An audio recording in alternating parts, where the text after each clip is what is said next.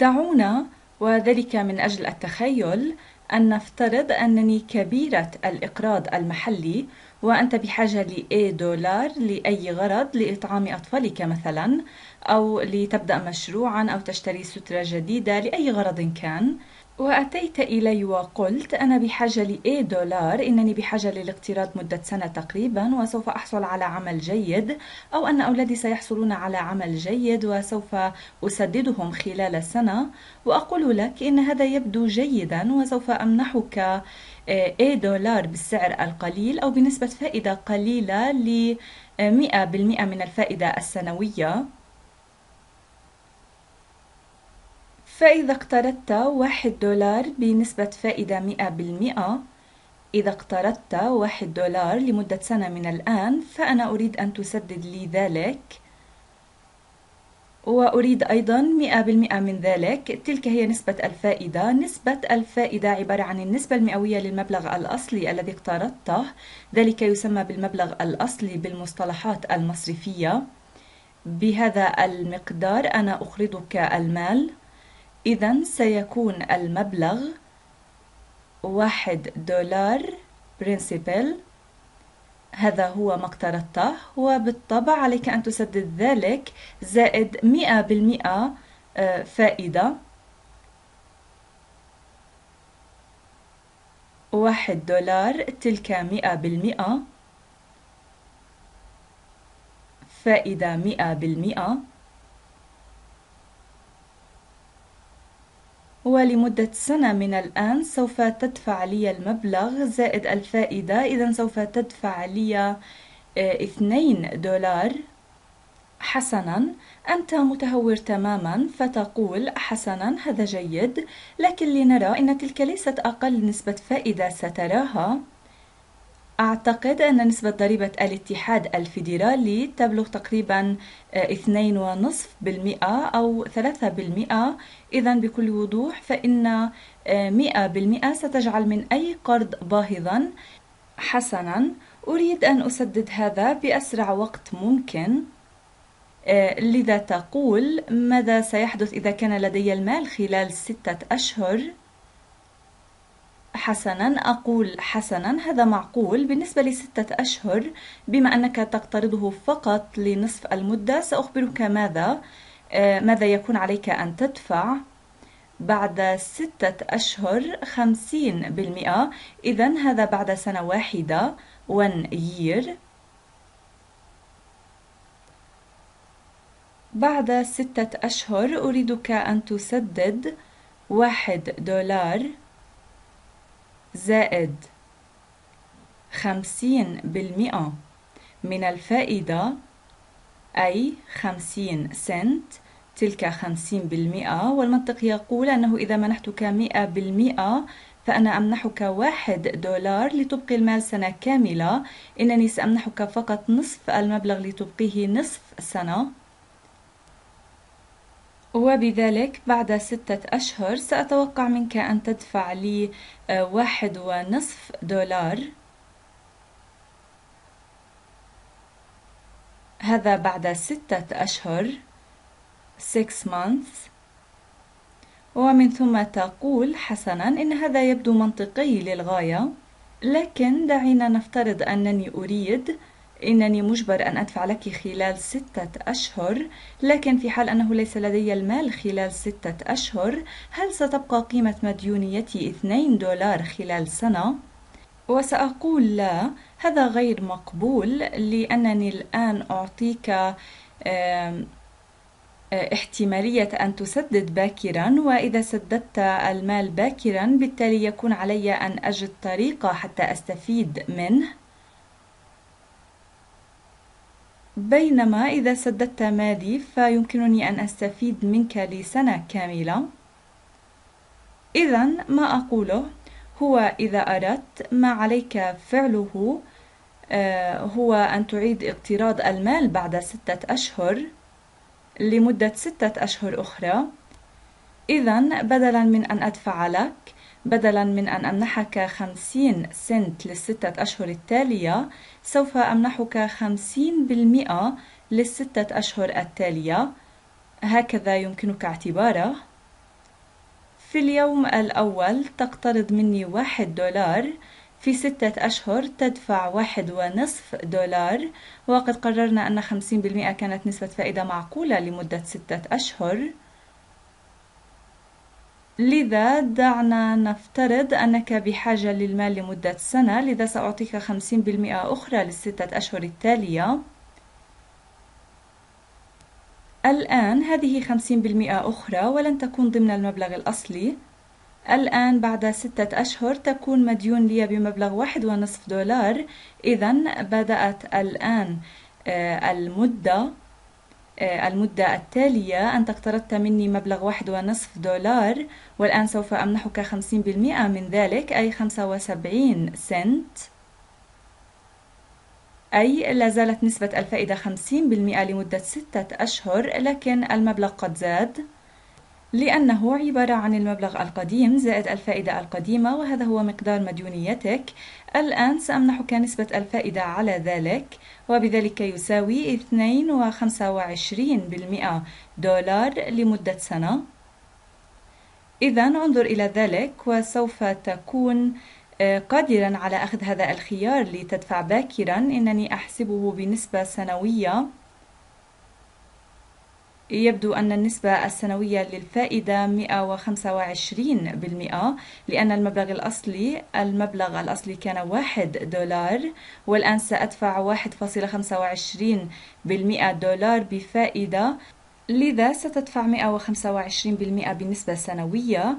إذا هذا يبدو سيء جدا لكنك كما أعتقد آه، مضطر آه، لذلك. لذا ستوافق عليه وقد وضحت لك أنه شيء شائع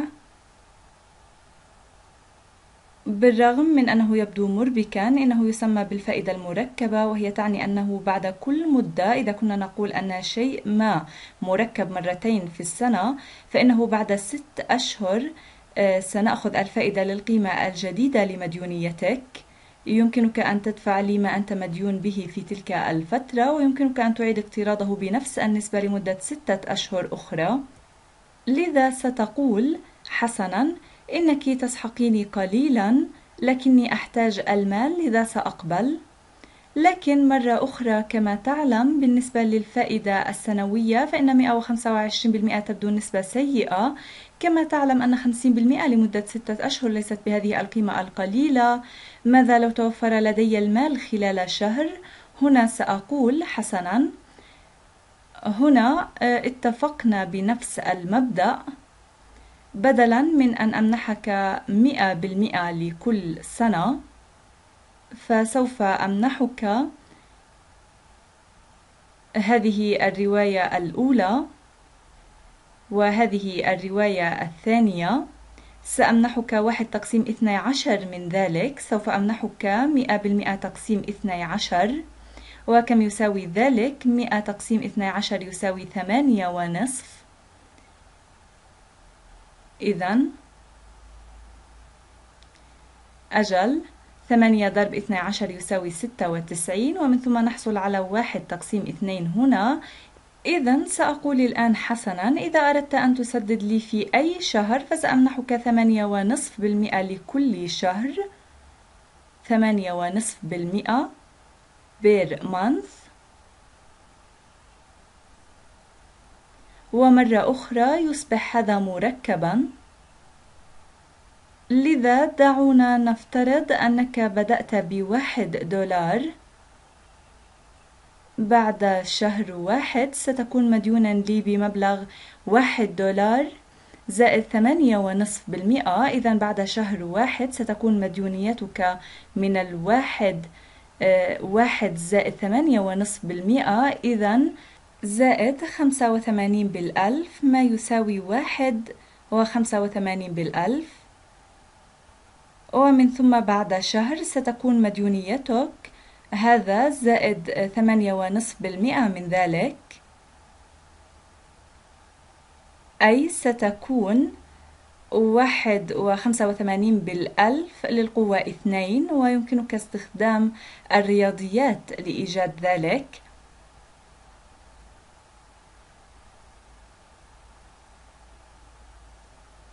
للقوة اثنين. ثم بعد ثلاثة أشهر ستكون مديونيتك واحد وخمسة وثمانين بالألف للقوة ثلاثة وبعد سنة كاملة في الواقع ستكون مديونيتك آه، واحد وخمسة وثمانين بالألف مرفوعة للقوة اثني عشر. ودعونا نرى ذلك. سوف أستخدم الإكسل هنا. دعونا نرى إذا كان لدي آه، زائد واحد وخمسة وثمانين بالألف مرفوع للقوة اثني عشر فأنت مديون لي ب آه، اثنين فاصلة ستة وستين بالمئة دولار ذلك يساوي اثنين فاصلة ستة وستين بالمئة دولار وتقول حسنا هذا مقبول لأنه كم يساوي الآن؟ مئة وستة وستين بالمئة تعتبر نسبة فائدة ناجحة.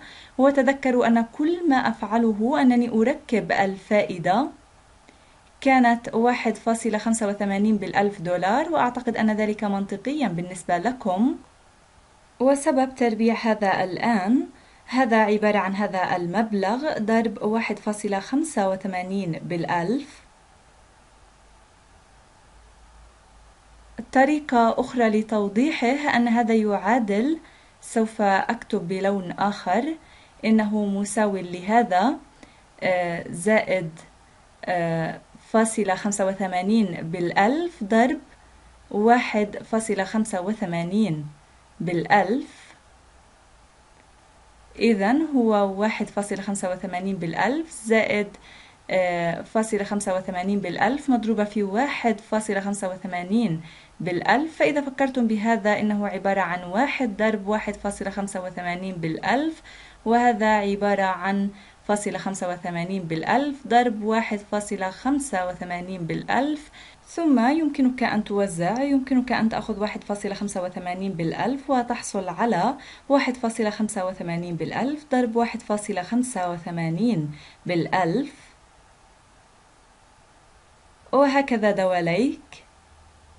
إذا الآن في هذه الحالة إننا نركب الفائدة. لقد قلنا أن الفائدة مئة بالمئة لكننا نقسمها على اثني عشر لكل شهر لكننا نركبها اثني عشر مرة. إذا بشكل عام ما هي الصيغة إذا أردت أن أركبها إن مرات؟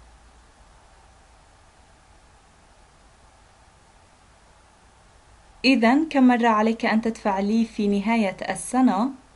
حسناً، دعونا نفترض أنني أريد أن أركب دعونا نفترض أنك تريد أن تدفع في كل يوم لديك المقدرة على أن تدفع كل يوم وأقول لك حسنا في كل يوم سوف أمنحك مئة بالمئة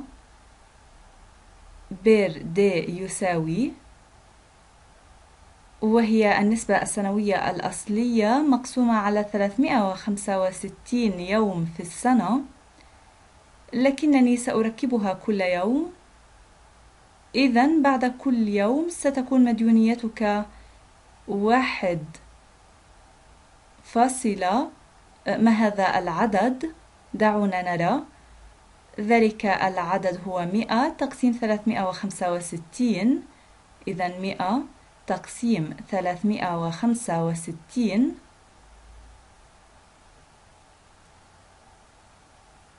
إذا مئة تقسيم ثلاثمائة وخمسة وستين يساوي آه، سبعة وعشرين بالألف بالمئة.